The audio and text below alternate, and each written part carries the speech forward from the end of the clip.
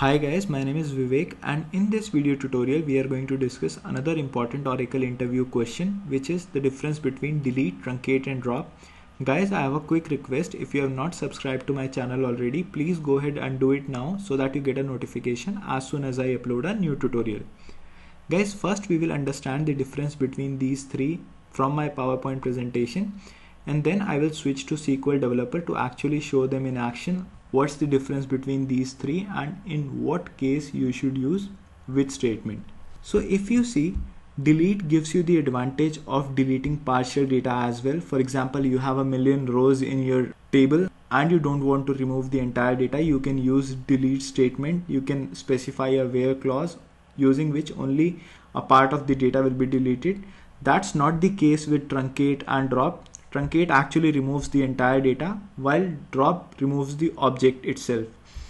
Delete is a DML statement while truncate and drop are DDL statement. Delete is relatively slow when compared to truncate and drop because you get the option to roll back the data. That means Oracle has to store that data in its rollback memory and if you go ahead and execute the rollback command it will recover that data again and present it to you.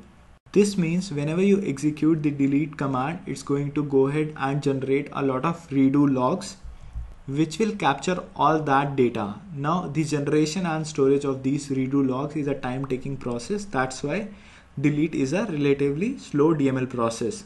That's not the case with truncate. If you are doing truncate, the data will be lost forever. And guys, let me assure you you really want to be very careful when you are truncating the data because there is no way to recover once you have truncated the data. With drop you can still recover the data. So if you have the flashback option on on the table instead of getting dropped completely the table will go to our recycle bin. So it's pretty similar to what we have on windows. If you delete a file or folder by mistake instead of getting wiped off from your memory it's going to go ahead and get stored in your recycle bin. And if you go ahead and explicitly delete from your recycle bin then only it will be lost. So similarly in Oracle if you purge your table in your recycle bin then only it will be lost completely. Otherwise it will have that data.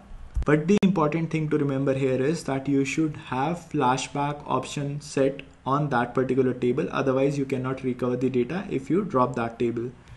Now if you have delete DML triggers set up on the table they will be fired when you go ahead and execute this statement.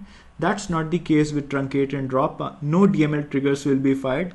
Though if you have set up a DDL trigger on your schema for auditing purposes when you go ahead and run truncate and drop it will be fired but that's not time consuming at all guys there is one another very important property and that is high watermark when we execute delete the high watermark is not reset. That's not the case with truncate. The high watermark is reset. And when we execute uh, drop the object is lost. What exactly is the high watermark high watermark actually specify the maximum size occupied by the table. And if it's not clear right now don't worry about it. We will actually go ahead and see in SQL developer what exactly it means and then it will be clear to you. There is another important difference between truncate and drop. When you actually go ahead and execute drop all the dependent objects will have to be recreated which is not the case with truncate. So if you have any referential constraints any indexes that you have created on your uh, table or if you have any trigger created on your table. If you go ahead and drop the table you will have to recreate all those objects. That's not the case with truncate. And guys this is actually one uh, big problem. That's why you need to be really sure before using drop because you will have to recreate all those dependent objects as well. Now let's go ahead and switch to our SQL developer and watch all this in action. Now here I am creating a test delete table with 100,000 rows using this statement. I have six columns and I'm assigning random values to it. So the table has been created. Let's verify the counts. So it has 100,000 rows. Let's see how much space it actually captures on my disk.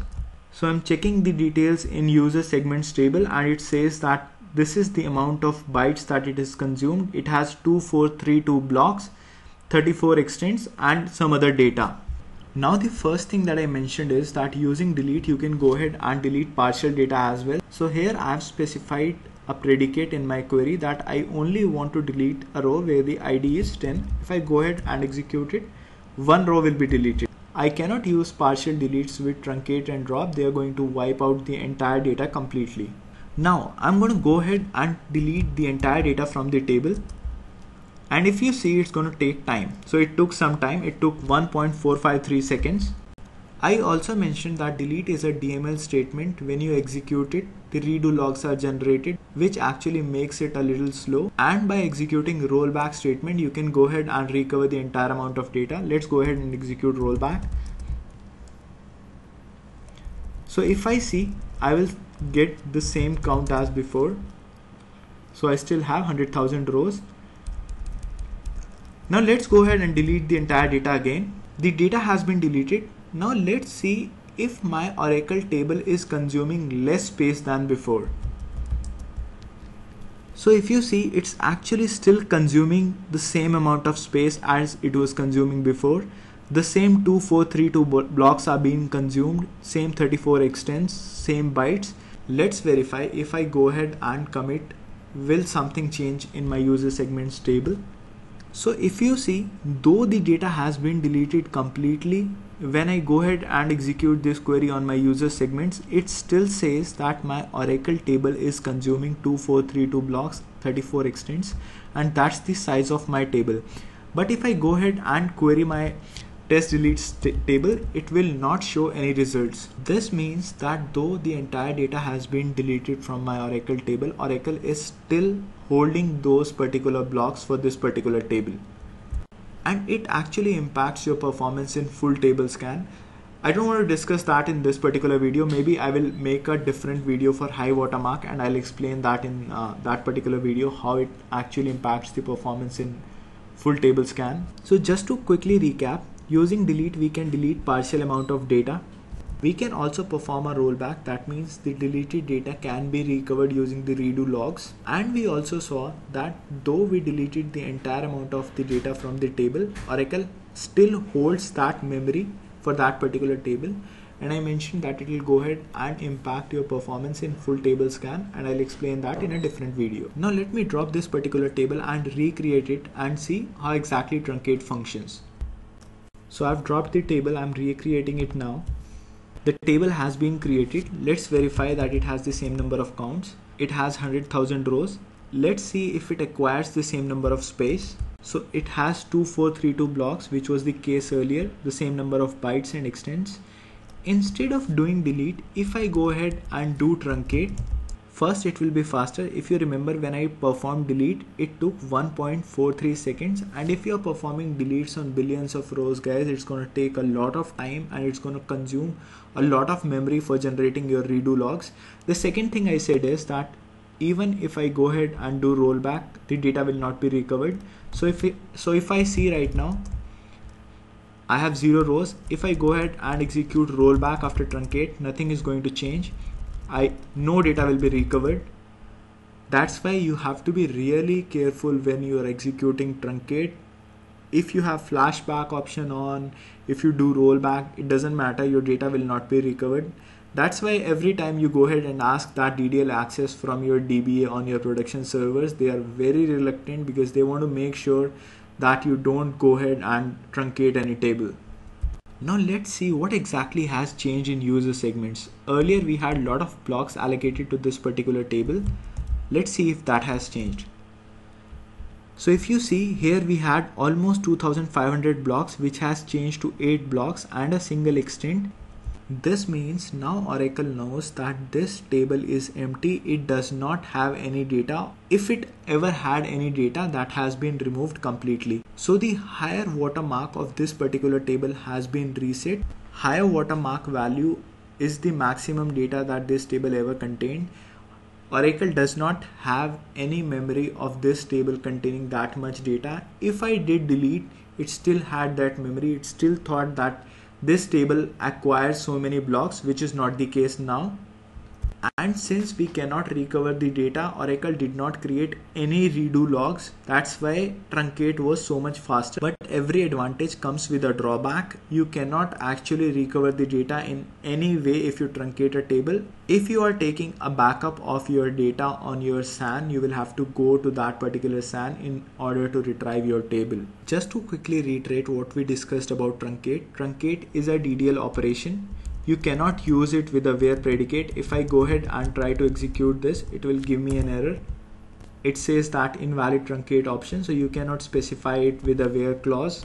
You have to delete the entire data. It's a DDL operation. It's very fast. The way we saw that it only took a fraction of second where the delete took almost two seconds. You cannot recover the data because no redo logs are generated and it actually goes ahead and physically resets the higher watermark value. That means now oracle knows that this table is empty. It does not contain any data which was not the case with delete. Oracle still was under the impression that it has all that data. And it actually costs you whenever you do full table scan because oracle has to read all those empty blocks as well. We talked about dml triggers as well. So let me go ahead and quickly delete this test delete summary table. So I'm going to use this table to log details whenever a delete operation is performed on my test delete table. So I'm creating a trigger trigger ABC which will actually insert data into test delete summary whenever I perform a delete on test delete. So the trigger has been compiled. Let me quickly verify that it's a valid object. So it's a valid object. This trigger has been created and it exists in my memory. So I have repopulated my table. Let's verify the count real quick. So I have 100,000 rows. While my table test delete summary is empty right now if I go ahead and perform a delete on my test delete table it will actually populate a row in test delete summary saying that data deleted from test delete. That's because when it performed this particular delete as soon as that was happening this trigger was initiated which actually in turn inserted data into test delete summary. If I go ahead and perform this delete I will have another row because the trigger will be fired. Though no row has been deleted it will still go ahead and insert that data. If I go ahead and do this 10 times it's going to execute this trigger again and insert the data in test delete summary now instead of doing delete, if I go ahead and truncate the table, this DML trigger will not be fired. So if you see now, I will have only three rows and not the fourth one. So if I have to quickly reiterate the difference between delete and truncate, delete is a DML statement. You can delete partial data with it. It's relatively slow because you can go ahead and roll back all that deleted data if you have a huge table it will generate a lot of redo logs which is going to be very slow and it's going to occupy a lot of space. If you have configured a delete dml trigger on your table when you go ahead and perform delete that trigger is going to get executed. These are not the case with truncate. Truncate actually physically resets the watermark. That means it tells Oracle that all the data from this table is being deleted which is not the case with delete again. Truncate is a DDL operation which should be used very carefully because once the data is deleted it cannot be recovered at any cost and you cannot delete partial data using truncate. Truncate will actually go ahead and delete the entire data from the table. Now let's go ahead and see couple of important differences between truncate and drop. One thing I mentioned is that if I go ahead and truncate the table, the objects that are associated with the table will still be retained. So this particular trigger that is associated with the table is still retained and is in valid state. If I go ahead and drop the table test underscore delete, this particular trigger will also be lost. So if you see as soon as I dropped the table, I lost the trigger as well. And if I go ahead and recreate the table, even then I will not get the trigger. I will have to explicitly create it again. So the table has been created. Let's verify if it has the same number of counts. It has the same number of counts. Let's see though I have created the table again if my trigger is visible again. That's not the case if you go ahead and drop the table all its associated dependent entries will be deleted be it a trigger be it an index or if you have any referential integrity constraint all those things will have to be recreated when you are dropping a table.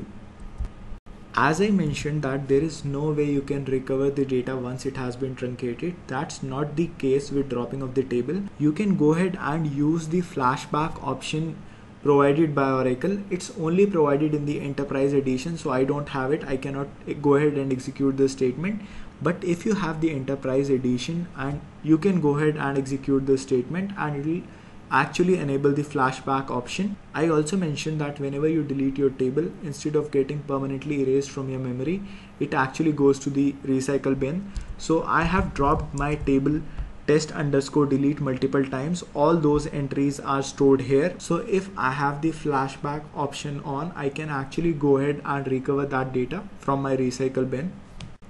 You can actually curtail the number of data that you want to uh, flashback for example, if you have billions of rows and historical data, instead of actually flashbacking the entire table, what you can do is you can restrict the amount of data that you want to capture by specifying a duration that you only want to capture the data that has been loaded over the last two days. And by mistake, if you go ahead and drop your table, and this has happened to one of my friend, uh, he actually accidentally dropped a table in production. So fortunately, the flashback option was on for a couple of days so they retrieved the old data from the SAN. There is a SAN backup usually in every project that runs overnight where it actually captures the data from production environment on disks. So the old data was retrieved using those SAN and the latest data was retrieved using this flashback option. So let's quickly switch back to our presentation and recap what we discussed. So with delete we saw that it can remove partial data which is not the case with truncate and drop truncate actually removes the entire data while drop removes the object completely. Delete is a DML statement while truncate and drop are DDL statement. Delete is relatively slow because it provides you the opportunity to roll back the data and in order to do that it has to write all that information using redo logs which is actually a painful process. That's why deletes are slow Truncate is a faster process because it does not generate any redo log and that is the case for drop as well. You can still go ahead and recover data while dropping if you have flashback option on. We also saw that if you have configured a delete DML trigger, it will be executed when you go ahead and execute delete. That's not the case with truncate and drop. Though there is a possibility that if you have configured DDL triggers on your schema, then they will be executed for auditing purposes but they are relatively very fast. We also saw that when we deleted the data completely using delete the higher watermark was not reset. Oracle was still under the impression that the table is occupying all that space though they were empty. That's not the case with truncate. The higher watermark was reset. We saw that the number of blocks utilized by the table were significantly reduced. Now Oracle knew that this table is empty and when we are using drop the object itself is lost so if I go ahead and execute that query it will not give me any result that object is lost forever. The challenge with drop is that the dependent objects that I have on the table will have to be recreated. So we had created a DML trigger on this particular table as soon as I went ahead and dropped that particular table the trigger was also dropped. This requires if i've created any indexes any referential integrity constraint any triggers they will have to be recreated or recompiled. Hopefully after this tutorial you understood the importance of delete truncate and drop and you know in what scenario you should use what. And guys you have to be very very careful when using truncate and drop though they are very fast and useful you need to be really sure before executing those because if executed incorrectly they can give you a lot of trouble. Hopefully today's tutorial was informative and this tutorial actually is a foundation of few other tutorials that I'm going to make. If you have any doubts regarding this tutorial please drop in a comment and I will try to answer it as soon as possible. Thanks a lot guys for watching this one and I'll see you in the next one